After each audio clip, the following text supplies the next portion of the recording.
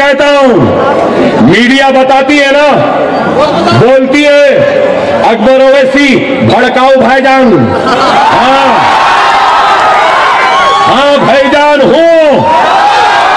तुम्हारा भी भाईजान हो हिंदी मीडिया तुम्हारा भी भाईजान हो मोदी का भी भाईजान हो शाह का भी भाईजान हो गांधी का भी भाईजान हो मोहन भागवत का भी भाईजान हो कोगाड़िया का भी भाईजान हो बीएसपी का भी भाईजान हो आरएसएस का भी भाईजान हो बीजेपी का भी भाईजान हो, क्या बोलते हो या नहीं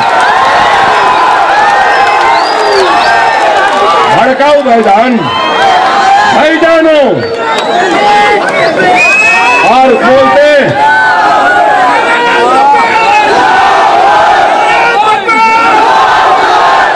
और बोलते कि अनाप शनाप बकता है। अनाप शनाप। अनाप शनाप बकता है एक नेता हैदराबाद से।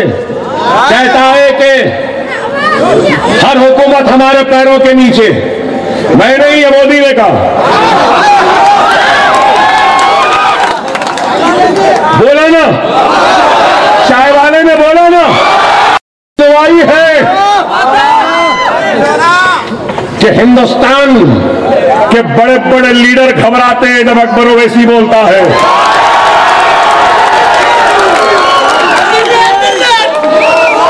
हर वक्त हर वक्त यही सोच कर खामोश रहे कि बोलने वाले बोलते रहे, इल्ज़ाम लगाने वाले लगाते रहे।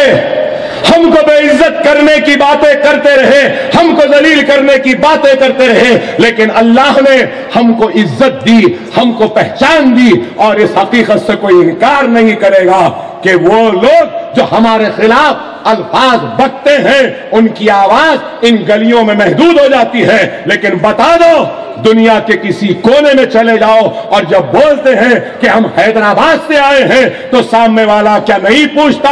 अरे कौन सा हैदराबाद? क्या ओवैसी ब्रदर्स के हैदराबाद से आए हो? क्या नहीं पूछते? अरे कहीं भी चले जाओ। सिंगापुर जाओ, मलेशिया जाओ कोलालमपुर जाओ, ऑस्ट्रेलिया जाओ मेलबर्न जाओ, सिडनी जाओ न्यूजीलैंड जाओ, अमेरिका जाओ, लंदन जाओ, कहीं पर भी जाओ, बोल दो हैदराबाद। तो बोलते हैं अच्छा उस मर्द के शहर से आए हो। अरे, ये काम मजलिस ने किया।